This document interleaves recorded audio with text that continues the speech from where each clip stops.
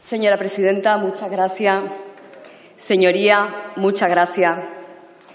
Permítame que le diga, señor Sánchez del Real, que he leído atentamente sus dos propuestas sobre el delito de usurpación. Es decir, la ocupación ilegal de viviendas vacías que no son ni primera ni segunda residencia de nadie. Y debo decirle, sin preámbulo, que llega usted tarde con dichas propuestas. Llega muy tarde. Quizá llega usted 80 años tarde. Y le voy a explicar por qué. Se lo digo porque la fiscal general del Estado ha emitido una instrucción este 15 de septiembre para que los fiscales insten a los jueces a que adopten medidas cautelares para el desalojo inmediato de los ocupantes ilegales, tanto para el caso del delito de allanamiento de morada como para el delito de usurpación.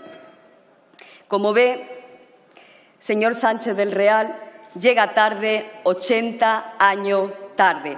Y además, debo decirle que llega tarde por otro motivo.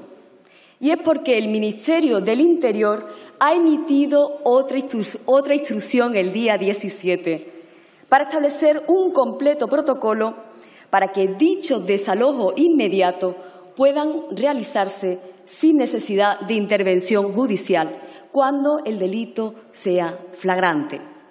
Por tanto, sus propuestas no solo son innecesarias, porque ya las soluciones ante este problema se han articulado, sino que además dudo mucho que superen un mínimo examen de constitucionalidad. Y en democracia, con una constitución vigente y un Estado de Derecho en pleno funcionamiento, solo los jueces pueden dictaminar un desalojo inmediato, salvo que el delito sea flagrante. Y lo que ustedes proponen, que consiste básicamente en permitir el desalojo policial sin intervención del juez, en cualquier caso, incluso aunque el delito no sea flagrante. Eso, mm, mire usted, señoría, eso es volver al pasado, a un pasado que ustedes añoran, el de hace 80 años. Pero déjeme decirle que hace 80 años lo que se ocupó ilegalmente fue la democracia española.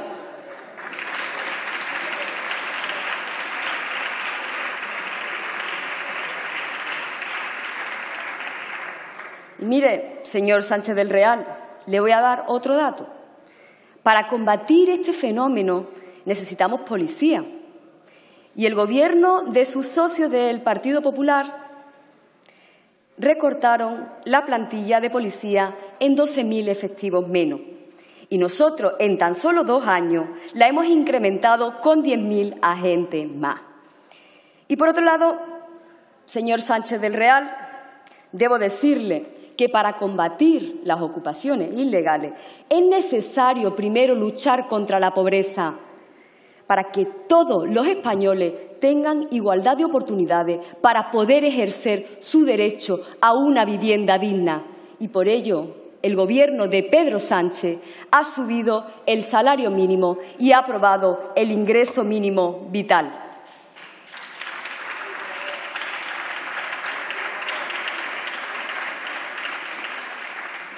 Igualmente, para combatir este fenómeno, debo decirle que es necesario construir viviendas sociales para quienes más lo necesitan. Por ello, el Gobierno está construyendo 20.000 viviendas para alquiler social. Esto es lo que hace la izquierda, señores de Vox, construir viviendas sociales. Y la derecha lo que hizo fue malvender las viviendas sociales a los fondos buitres.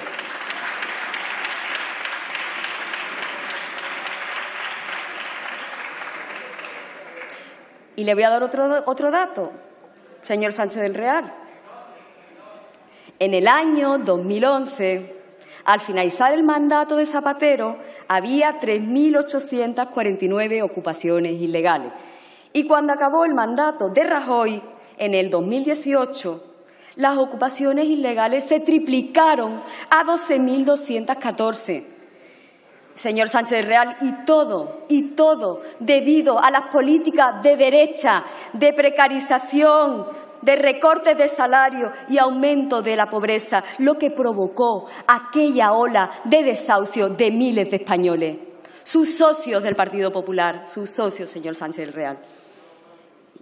Y en aquel entonces el señor Abascal ocupaba un chiringuito cobrando 93.855 euros por dirigir una fundación sin actividad conocida. Señora Bravo, tiene que terminar, por favor. Pero que yo sepa, nunca se le dio quejarse de que el gobierno de Rajoy había triplicado la cifra de las ocupaciones ilegales en España.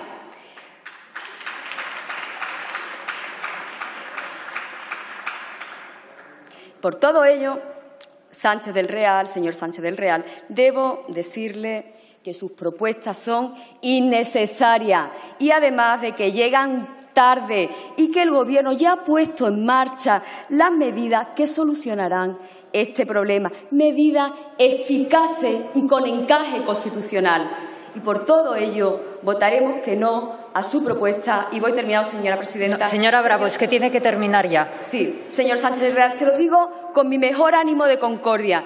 Le invito a que se lea usted la Constitución española y, sobre todo, por favor, léase los artículos 18, 33 y 47. Y si lo hace, estoy convencida de que ustedes también votarán que no a su propuesta. Muchas gracias.